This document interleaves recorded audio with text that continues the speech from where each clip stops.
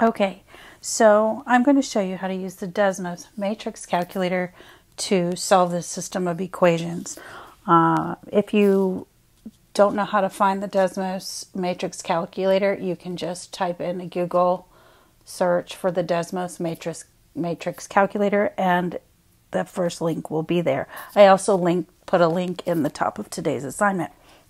so if you don't have a graphing calculator at home, no problem. Use the Desmos matrix calculator.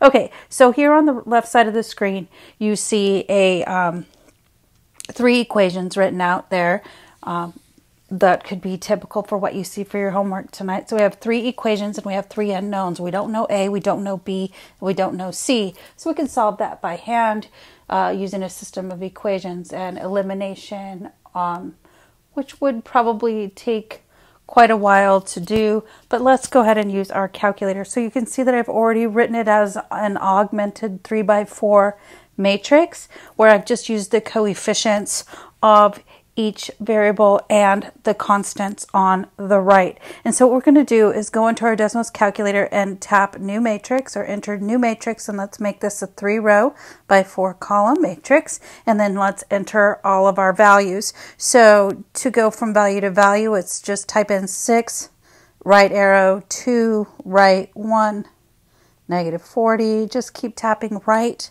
as you enter each value 34, 5, negative 5, 1, negative 50.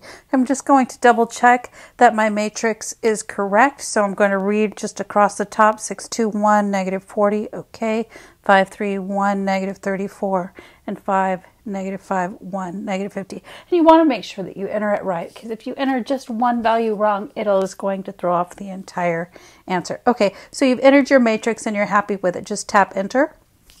Okay, and so we're going to take our augmented matrix and have the calculator put in reduced row echelon form.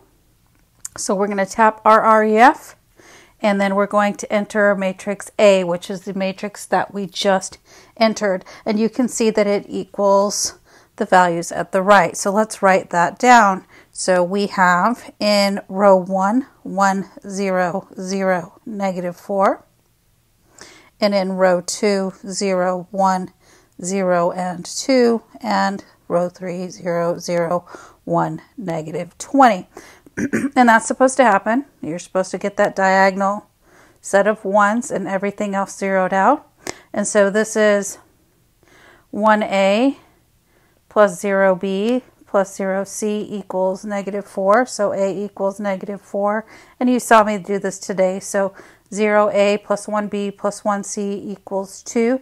So b equals 2 and 0a's plus 0b's plus 1c equals uh,